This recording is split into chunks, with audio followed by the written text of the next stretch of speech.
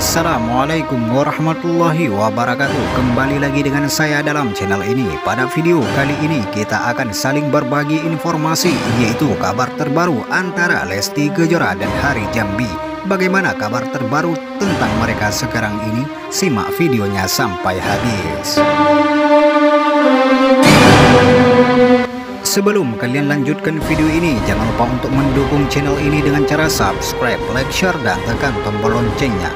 Jangan lupa juga untuk berikan kritikan dan masukan melalui komentar di bawah video ini. Jalinan asmara Lesti Kejora dan Rizky The Academy memang sudah dikabarkan berakhir sejak beberapa bulan yang lalu. Padahal Lesti dan personel dua kembar Rizky Ridho tersebut sudah pacaran kurang lebih lima tahun lamanya. Kini Lesti menceritakan bagaimana perasaannya saat cintanya bersama Rizky The Academy harus kandas di tengah jalan Perempuan kelahiran Bandung tersebut kemudian mengakui bahwa ia sempat menangisi kandasnya hubungan asmara bersama Rizky The Academy. Dulu Lesti bahkan belak-belakan mengakui sangat sulit melupakan kenangan manis kebersamaan mereka yaitu Lesti dan Rizky The Academy. Terlebih lagi, keduanya putus dengan cara yang baik-baik dan masih menjalin hubungan baik selepas status mereka tak lagi pacaran. Lesti Kejora juga pernah mengatakan, Aku pribadi sebenarnya enggak bisa, susah sebenarnya, sulit, tapi tuntutannya kan harus begitu, ujar Lesti. Jadi juga menambahkan, ya udahlah nangis, jadinya diutarakan.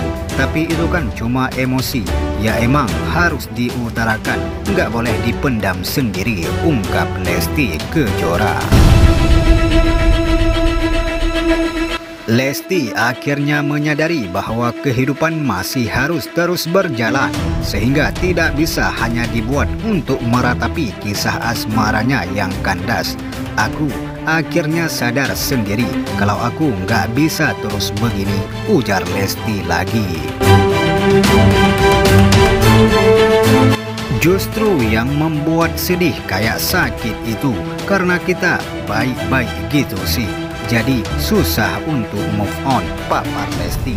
Perempuan 20 tahun ini juga mengakui bahwa banyak pihak yang menyayangkan kandasnya hubungan asmara Lesti dan Rizky The Academy.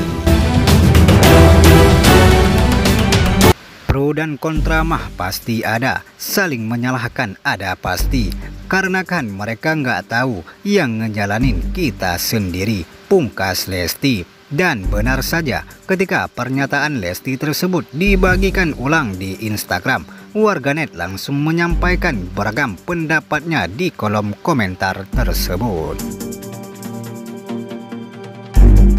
Sebagian mengaku menyayangkan Rizky The Academy dan Lesti Kejora putus. Sebagian lagi beranggapan bahwa penuturan Lesti terdengar sangat bijak dan dewasa dalam menyikapi kisah asmaranya yang tak berjalan mulus itu.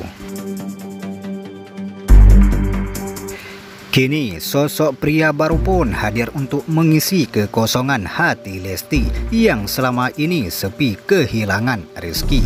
Siapa lagi kalau bukan Hari Putra, peserta Liga Dangdut Indonesia tahun 2020 ini perwakilan dari Provinsi Jambi.